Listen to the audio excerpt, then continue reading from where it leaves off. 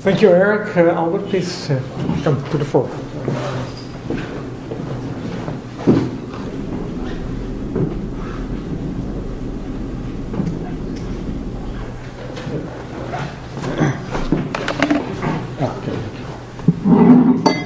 Yes. Thank you very much. Um, like every once in a while, you have the uh, opportunity to read a really good book, as, uh, as the Origin of Wealth is. It's really very rich and very enchanting to read. I'm grateful that you have a, uh, you, you've sort of presented in a very short and brief outline, about an hour, this whole uh, this whole book, which if you read it, it get, gets a lot more richness of, of, of what you presented here.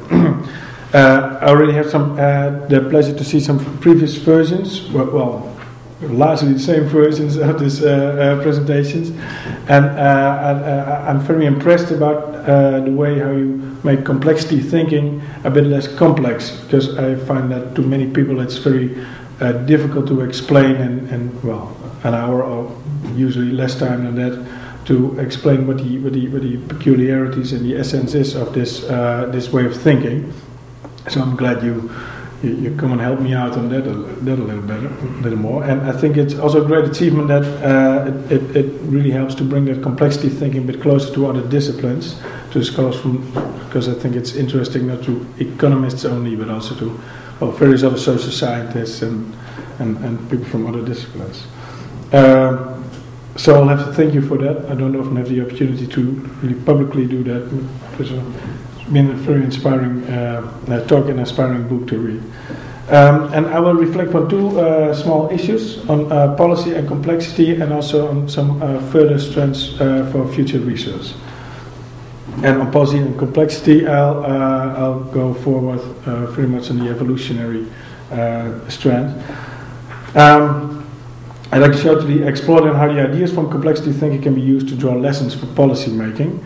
Um, because I think that complexity thinking offers some strong arguments uh, to rethink command and control governance. And um, uh, so I'll, I'll, sum up a few short notions that you showed much more eloquently and, and graphically advanced than I can do.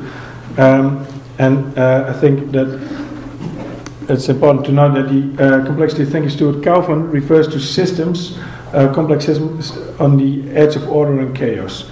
Uh, so they're not fully chaotic, but not fully, uh, uh, uh, let's say, ordered either.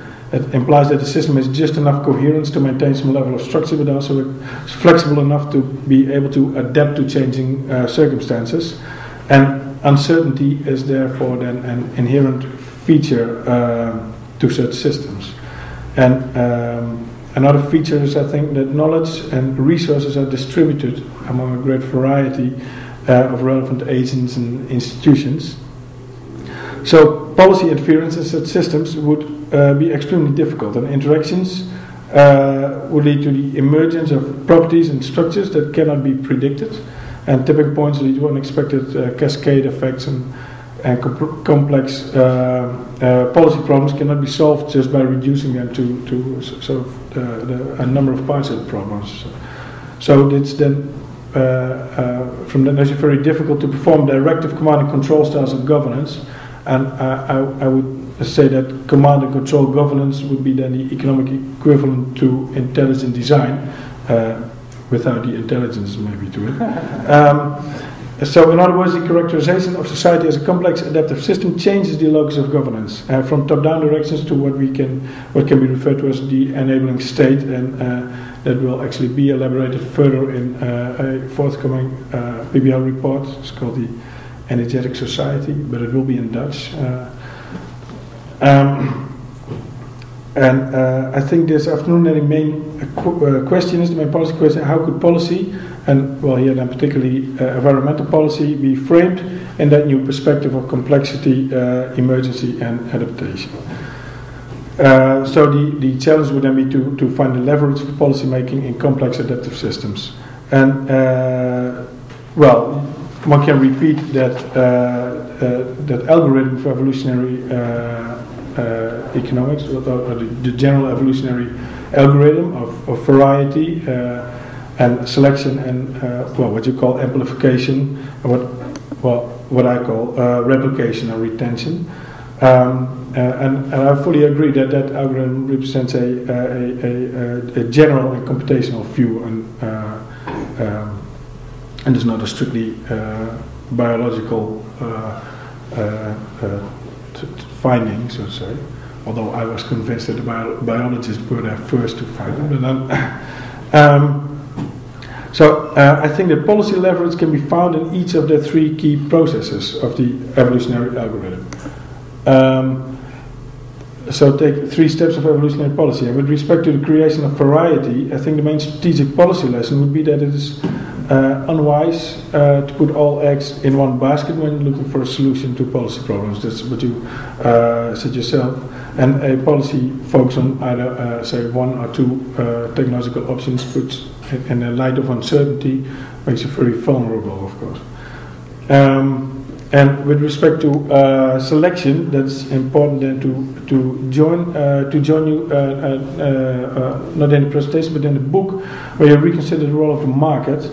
Um, considering that the market is not only the, the price setting mechanism for a most efficient allocation of supply and demand, but much rather than an evolutionary search mechanism. So that provides the most effective selection process in, in search for needs and, and solutions, um, like being the best toad in the rainforest. Um, and evolutionary policy would then focus on the framing, I think, of more generic uh, selection criteria that ensures the proper working of its uh, search mechanism in the direction of a social preference, uh, which in environmental policy could be uh, by, for example, setting CO2 standards. Uh, and then on uh, retention, uh, replication, um, from a complexity perspective, I think it's important to realize that uh, environmental policies are likely to have a uh, have very different effects in different technological regimes. Uh, such regimes differ in say, vary over sectors or countries or, or regions and in the nature of how they are, uh, let's say, institutions uh, uh, act or the agents are, are involved. Um, so that requires uh, inherently, I think, a dynamic perspective on policy and on policy instruments. An evolutionary policy uh, strategy on this issue would um, need the inclusion, I think, of some level of adaptive capacity, of flexibility, in order to be able to learn uh, to accommodate new perspectives on policy solutions. So you need some type of policy learning. Uh, for example, when the nature of that regime changes. Um, uh, that is, uh, the, well, flexibility again uh, refers to uh, the maintenance of a variety of options and, and like a portfolio of opportunities. Um, that, of course, comes at a cost an evolutionary policy would need to uh, say recognize and strike a balance between efficiency and uh, and its flexibility. So uh, the key question is, of course, how how we uh, can translate that uh, to concrete policy action, because this is still a very broad set of options. Um, uh, I think it is then important to adhere to the uh, idea of uh, rules of interaction. Um, I say, uh, and rules of interactions are, uh, it is like actions of social agents are not arbitrary, uh, but are determined and restricted by rules of interaction. And examples of those rules are prices, for example, or knowledge, or routines maybe, um, or maybe just what your neighbor says and who you value very much. Um, and uh, these rules of interactions are, as you uh, uh, ex uh, explained extensively, are not uh, not rational, but are very much based on, on let's say, improvisation or experiences. Or I trust you as my neighbor, so I'll trust you on say, buying uh, my, my next bicycle as well. So, and it is, I think, precisely these uh, rules of interaction that that evolve to new rules and new heuristics. And I think a key challenge for environmental policy is then to connect with such rules of interaction. And um, uh, I, I, suggest three options to do that. Uh, first, so the introduction of new rules uh, could provide uh, a direction that fits a sustainable pathway. So, for example, uh, turn off the light in rooms when no one is there could be a, a sort of a rule that you would want, may want to promote. And uh, many uh, technical solutions are available, such as uh, lights that turn off automatically when you when you leave the room after, say, a minute or so. Um, and uh, policy options may then be to uh, promote the application of such innovations, or to apply, well, an innovative uh, search for such innovation, and maybe to use stricter rules to have them applied. Um, a second is on the reproduction. Um, I think that the new rule needs then to be re reproduced, for example, by affecting its social acceptance. And I think price mechanisms could, could play a useful role there. Um, because as they shift then the, the say the underlying economic sense making. Um, so in that sense it would then be cheaper to turn off light because for example high energy prices.